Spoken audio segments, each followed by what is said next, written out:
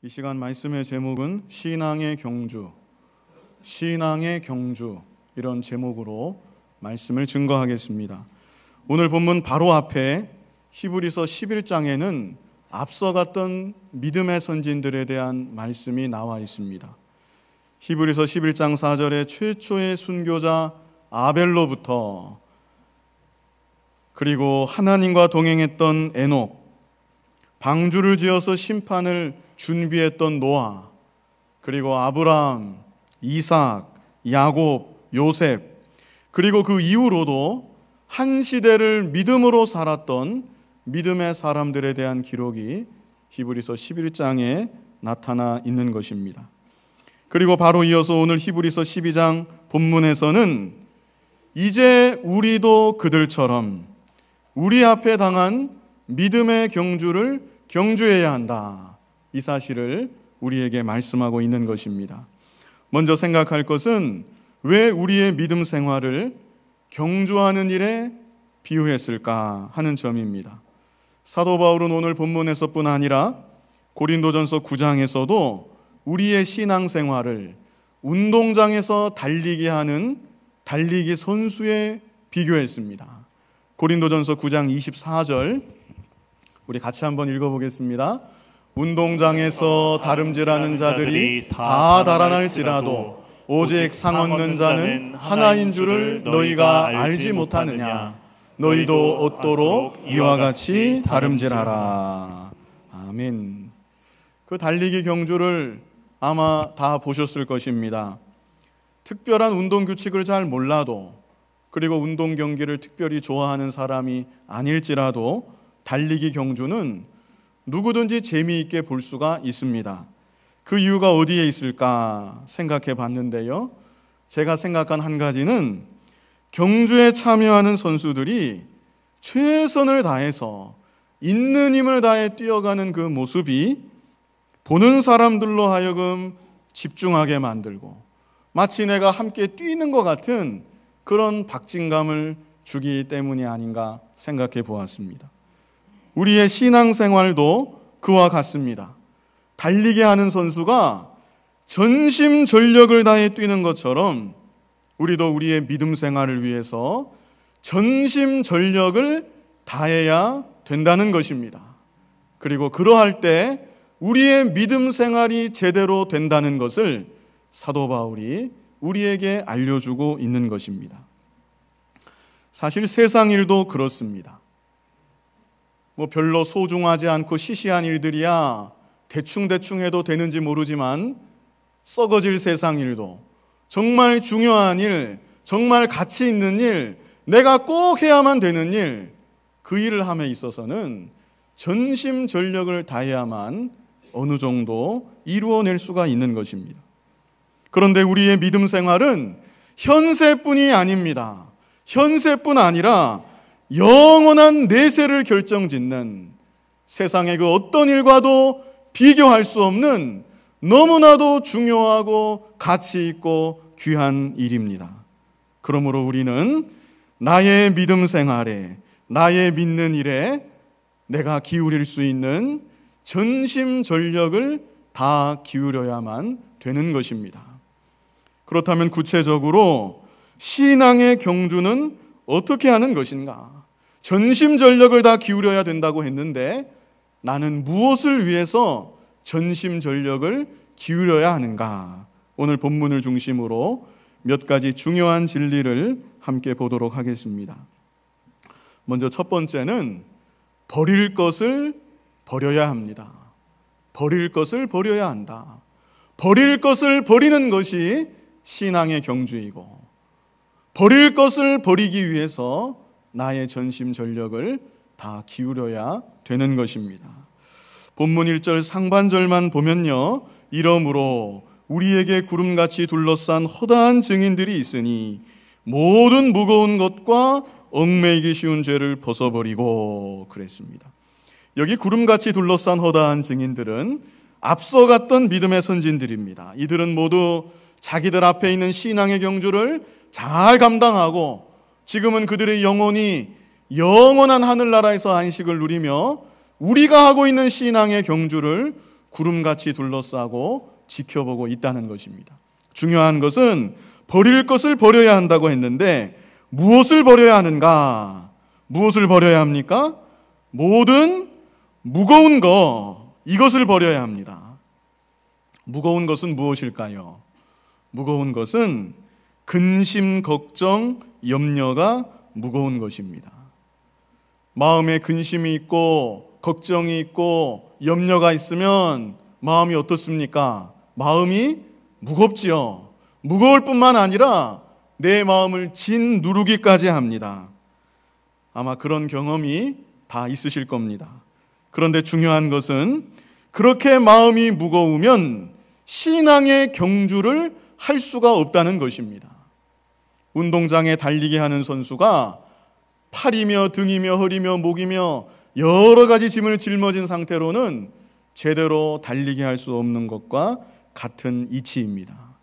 그러므로 저와 여러분은 내 마음을 무겁게 만드는 모든 근심, 걱정, 염려들을 벗어 버려야 합니다.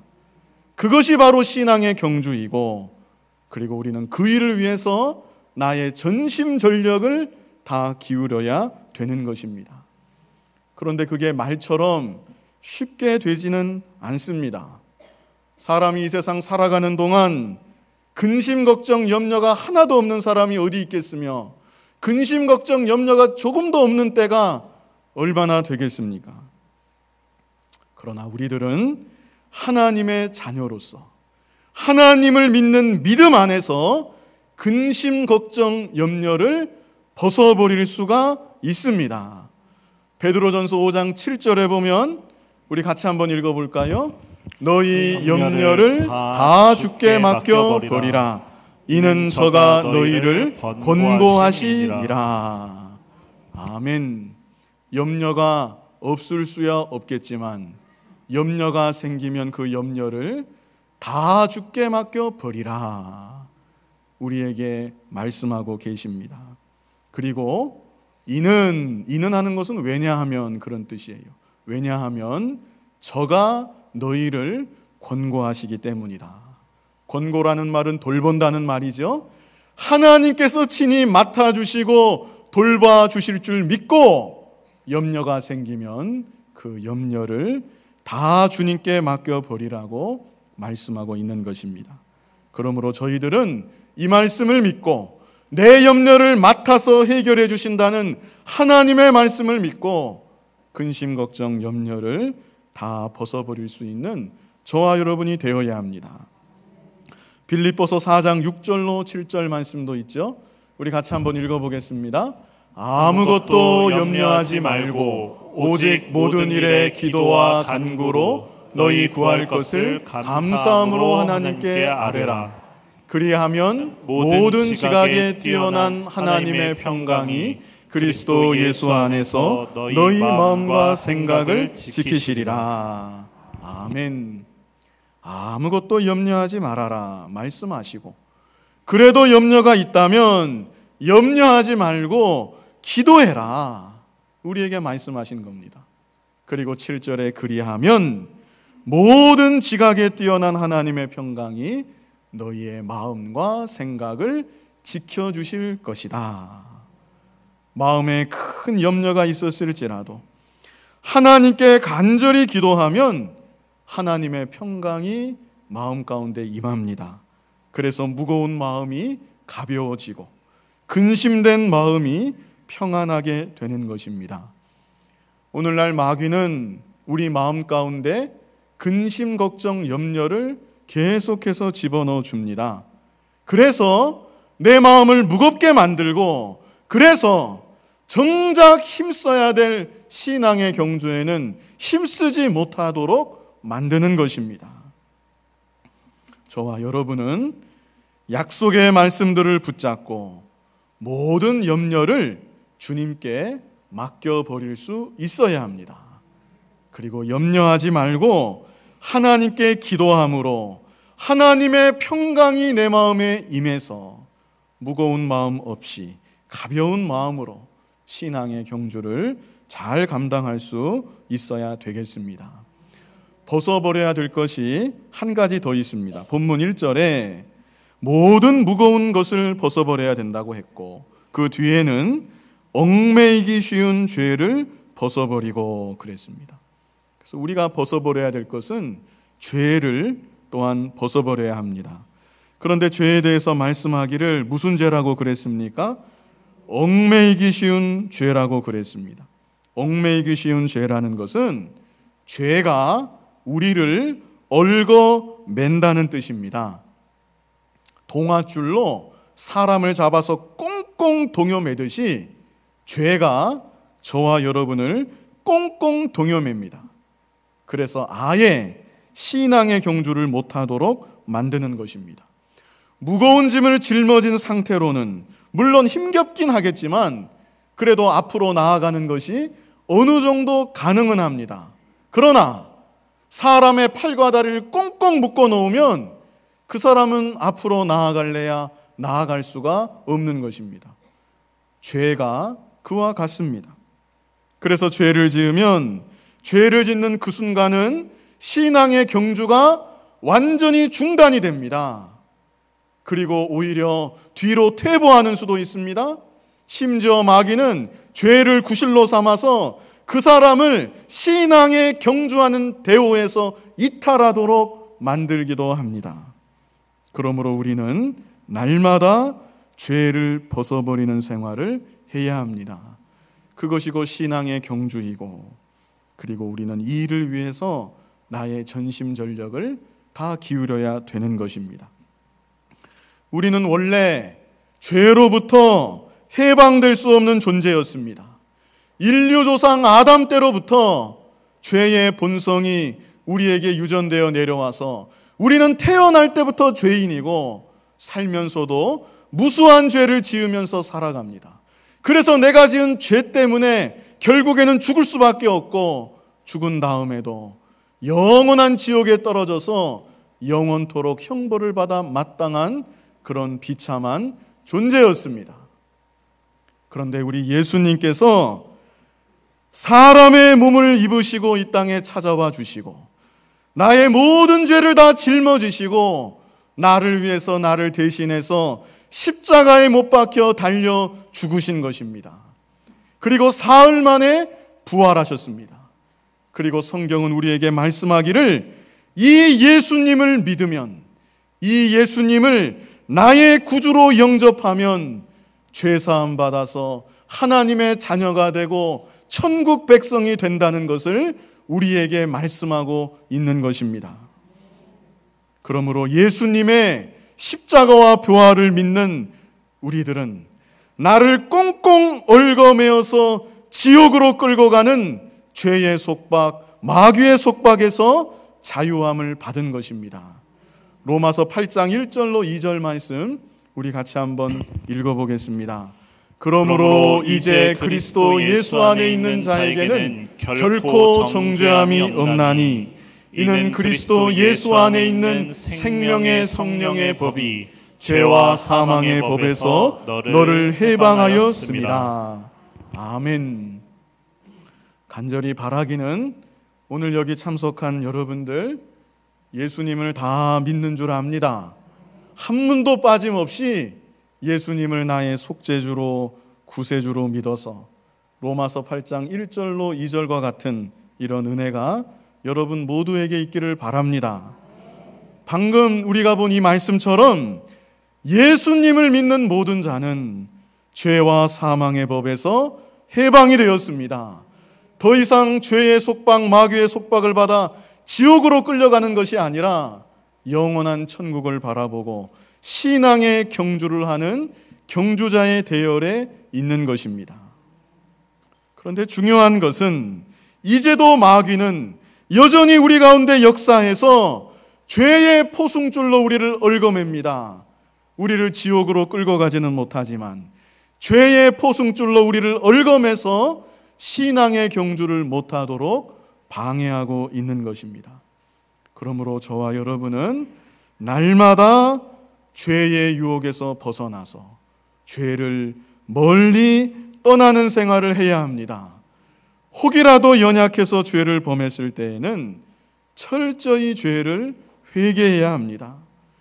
그러면 하나님의 은혜로 다시금 나를 얽어매었던 죄의 포승줄을 풀어주시고 자유롭게 신앙의 경주를 감당할 수 있도록 우리를 인도하여 주시는 것입니다. 이제 두 번째로 인내해야 합니다. 인내해야 한다. 인내하는 것이 곧 신앙의 경주이고 우리는 인내하는 일에 나의 전심 전력을 기울여야 합니다. 1절 후반부를 보시면 인내로서 우리 앞에 당한 경주를 경주하며 이 짧은 구절이 너무나 중요한 진리를 다시금 우리에게 깨닫게 합니다.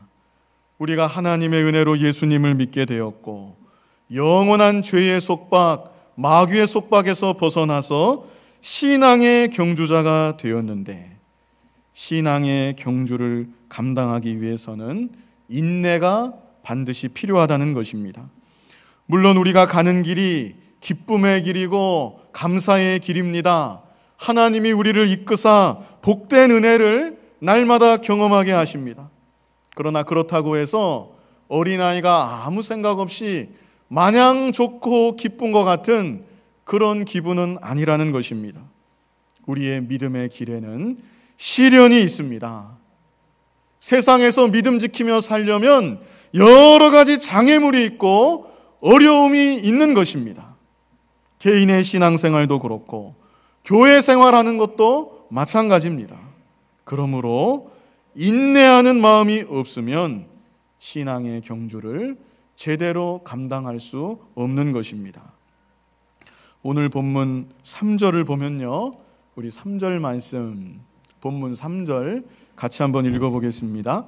너희가 피곤하여 낙심하지 않기 위하여 죄인들의 이같이 자기에게 거역한 일을 참으신 자를 생각하라. 자, 여기 보시면 너희가 피곤하여 낙심하지 않기 위하여 이 말씀이 왜 있습니까? 신앙의 경주를 하다 보면 피곤하게 되는 일도 있고 낙심하게 되는 일도 있을 수 있다는 것입니다.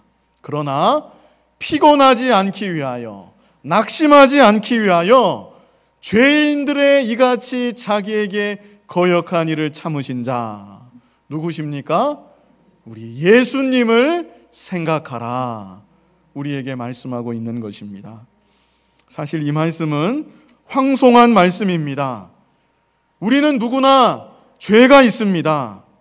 겉보기에는 깨끗한 것 같아도 자기 속을 자기가 들여다봐도 양심을 써서 살펴보면 죄가 얼마나 많은지 모릅니다.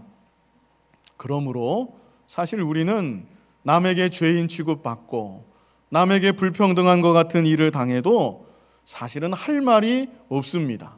인간 관계 속에서 오해를 당하고 불편한 일을 겪어도 내가 설사 직접적으로 잘못한 일은 없다 할지라도 내 자신이 완전하지 못하기 때문에 그런 일이 있다는 것을 우리가 부인할 수는 없는 것입니다. 그러나 우리 예수님은 어떻습니까? 우리 예수님은 아무런 죄가 없으신 예수님이십니다. 죄인들을 위해서 이 땅에 찾아오셨고, 죄인들을 위해서, 죄인들을 대신해서 자신의 몸을 들여 십자가에 죽어 주셨던 것입니다. 그런데 그러함에도 죄인들이 예수님을 바라보면서 너는 죄인이라고 정죄하고 멸시하고 조롱했습니다. 그러나 우리 예수님은 그 모든 것을 저와 여러분을 위해서 다 참아 주셨던 것입니다. 그리고 우리들에게 이 예수님을 생각하라고 말씀하고 있는 것입니다. 저와 여러분이 나를 위해서 온갖 수치와 멸시와 조롱을 다 참으신 예수님을 생각하고 잘 인내함으로 우리 앞에 놓여 있는 신앙의 경주를 잘 감당해 나아가야 합니다.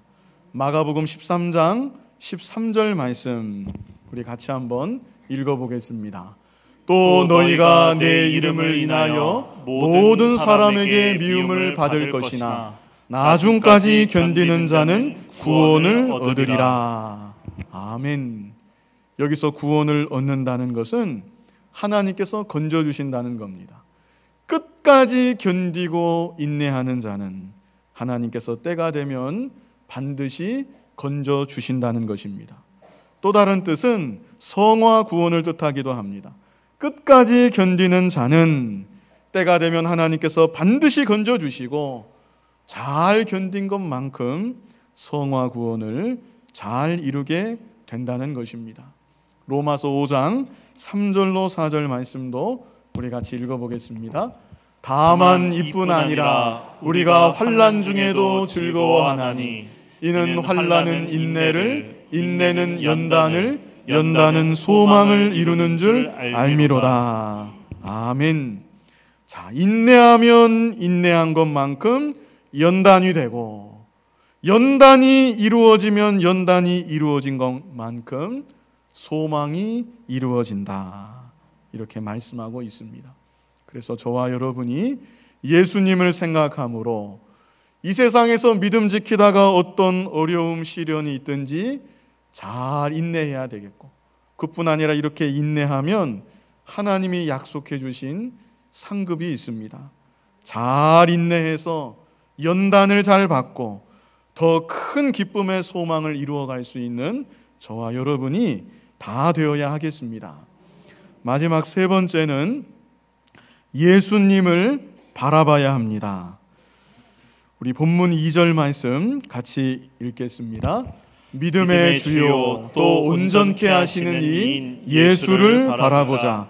저는 그 앞에 있는 즐거움을 위하여 십자가를 참으사 부끄러움을 개의치 아니하시더니 하나님 보좌 우편에 앉으셨느니라.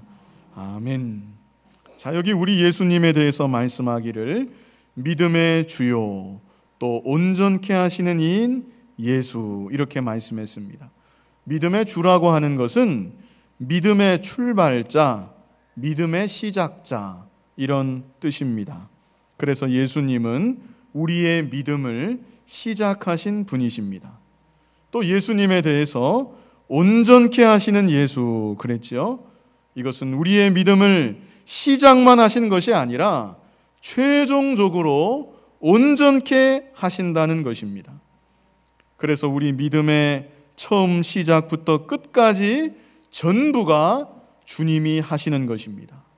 비슷한 구절이 빌립보서 1장 6절에도 있는데요. 우리 빌립보서 1장 6절 같이 읽어 보겠습니다. 너희 속에 착한 일을 시작하신 이가 그리스도 예수의 날까지 이루실 줄을 우리가 확신하노라. 그래서 우리의 믿음이 처음부터 끝까지 전적인 하나님의 은혜인 것입니다. 그런데 그러함에도 우리 스스로 우리가 반드시 해야만 되는 일이 있습니다. 그것은 무엇일까요? 오늘 본문에 있는 대로 예수님을 바라보는 일, 예수님을 바라보는 것은 우리가 반드시 해야만 되는 일입니다. 민수기 21장에서 불뱀에게 물려서 고통 가운데 죽어가는 자들이 있었습니다. 그들이 할 수 있는 일은 아무것도 없었지만 그들이 유일하게 해야만 되는 일, 장대 위에 높이 달린 노뱀을 바라봐야 했습니다. 마찬가지로 오늘날 우리들도 신앙의 경주를 처음부터 끝까지 함에 있어서 오직 우리의 시선을 예수님께만 고정시키고 예수님만 바라봐야 되는 것입니다. 히브리서 11장에 수많은 믿음의 선진들이 열거되어 있죠. 그러나 우리가 진정으로 바라봐야 될, 바라봐야 할 대상은 그들이 아니라 오직 예수님 한 분뿐이라는 사실을 오늘 본문에 와서 결론과 같이 말씀하고 있는 것입니다. 예수님을 바라본다는 것은 예수님을 항상 마음에 생각한다는 것입니다. 예수님의 모습을 생각하고 예수님의 삶을 생각하고 그래서 나도 예수님을 닮아가기 원하는 것. 그것이 바로 예수님을 진정 바라보는 모습입니다. 그러면 좀 더 구체적으로 예수님의 어떤 모습을 바라봐야 되는가? 여기 2절에 그랬죠. 저는 그 앞에 있는 즐거움을 위하여 십자가를 참으사 부끄러움을 개의치 아니하시더니 십자가를 지시기까지 하나님의 뜻에 죽기까지 순종하신 예수님의 모습을 바라봐야 합니다. 부끄러움을 개의치 아니하시더니 그랬는데요. 여기서 개의치 아니했다는 것은 아주 강한 표현입니다. 원 의미가 경멸한다는 뜻입니다. 그래서 이것은 예수님이 부끄러운 감정 그 자체를 아예 무시하고 생각조차 하지 않았다는 것을 강조한 표현입니다. 하나님의 뜻을 이루어 드림에 있어서 자기 자신은 수치를 당하든지 멸시를 당하든지 조롱을 당하든지 십자가 상에서 저주스러운 모습으로 비참하게 죽어 가실 때에도 그 모든 일에 대해서 철저히 마음에 두지 아니하고 아예 무시하듯이 하나님의 뜻만을 온전히 순종하셨다는 그런 의미입니다. 오늘날 우리들은 너무나 연약해서 하나님의 뜻인 줄 알아도 나에게 조금 손해가 나고 나의 위신에 나의 자존심에 조금 상처가 나면 그 뜻을 순종하기를 꺼려 합니다. 그만큼 연약하고 믿음이 없어서 그렇습니다.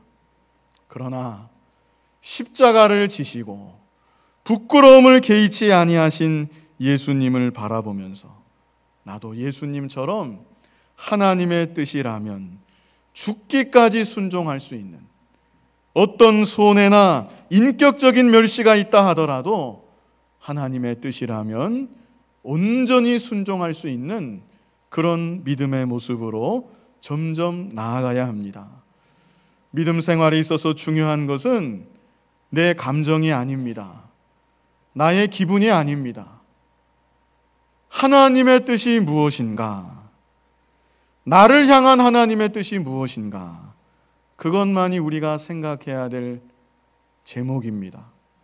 하나님의 뜻이라면 내가 정말 너무 하기 싫은 일이라 할지라도 나는 그 일을 얼마든지 할 수 있고 내 마음에는 전혀 내키지 않는 일이라 할지라도 이것이 하나님의 뜻이라면 단마음으로 할 수 있고 하나님의 뜻이라면 나에게 설사, 설사 손해가 난다 할지라도 나중에는 내가 죽는 한이 있다 할지라도 순종하며 나아가는 것.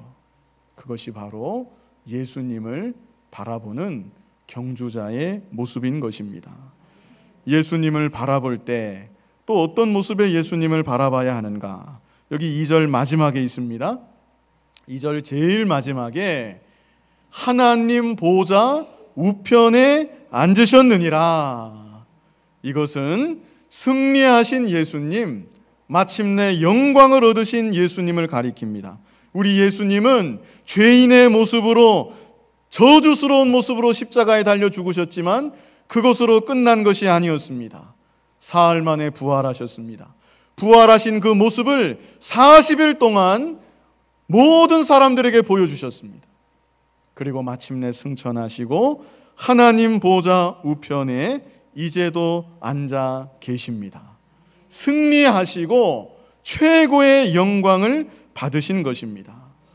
그래서 우리가 예수님을 바라볼 때 승리하신 예수님, 영광 중에 계신 예수님도 바라봐야 되는 것입니다. 우리는 물론 다 부족하지만 그래도 내가 이 세상 사는 날 동안 예수님 바라봄으로 신앙의 경주를 심서하면 나에게도 승리의 날이 반드시 온다. 영광의 날이 나에게도 올 것이다. 이 영원한 소망을 가지고 신앙의 경주를 해야 되는 것입니다. 디모데 후서 4장 7절로 8절 말씀 우리 같이 한번 읽어보겠습니다. 내가 선한 싸움을 싸우고 나의 달려갈 길을 마치고 믿음을 지켰으니 이제 후로는 나를 위하여 의의 면류관이 예비되었으므로 주 곧 의로우신 재판장이 그날에 내게 주실 것이니 내게만 아니라 주의 나타나심을 사모하는 모든 자에게니라. 아멘. 사도 바울이 기록한 말씀이죠.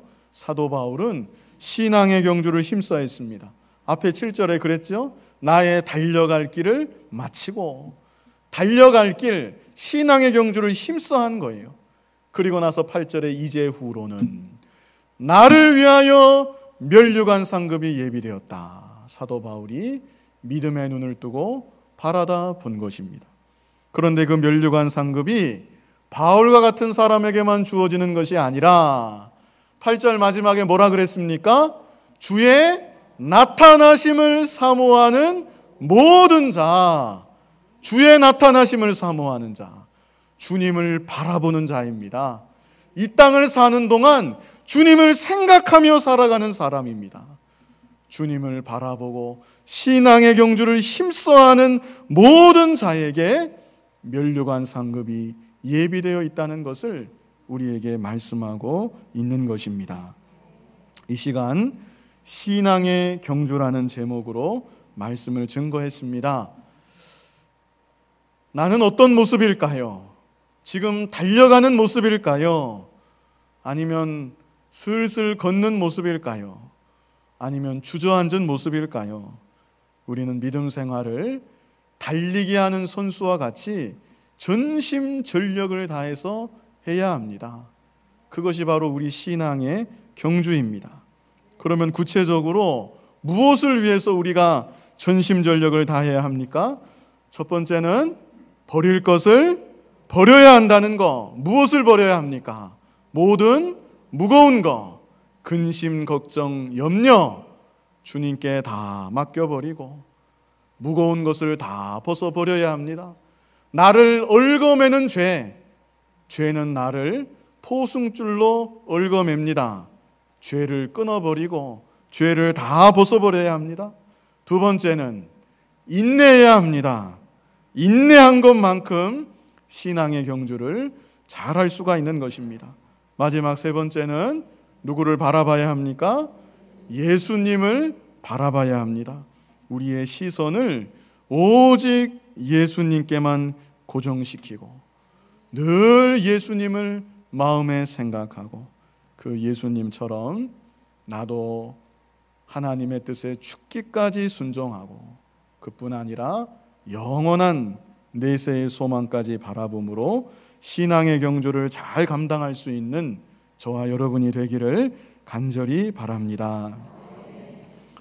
거룩하신 아버지 하나님, 신앙의 경주자로 우리를 삼아 주셔서 헛된 세상, 세상 일에 분요하고 낭비하지 아니하고 영원한 하늘나라 소망하며 신앙의 경주를 하게 하심을 참으로 감사합니다.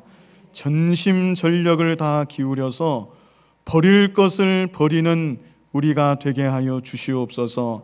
근심, 걱정, 염려가 끊이지 않는 우리의 삶이지만 하나님의 말씀과 같이 모든 염려를 주님께 맡겨 버릴 수 있는 우리가 되게 하여 주시옵소서. 염려하지 아니하고 기도하는 우리가 되므로 하나님의 평강이 우리 마음 가운데 임함으로 가벼운 마음으로 신앙의 경주 잘 감당하는 우리가 되게 하여 주시옵소서 인내함으로 신앙의 경주하게 하시고 예수님만 바라보는 우리가 되어서 영원한 내세의 소망 바라보고 신앙의 경주 잘 감당하는 우리 모두가 되게 하여 주옵소서 예수님 이름으로 기도하옵나이다. 아멘.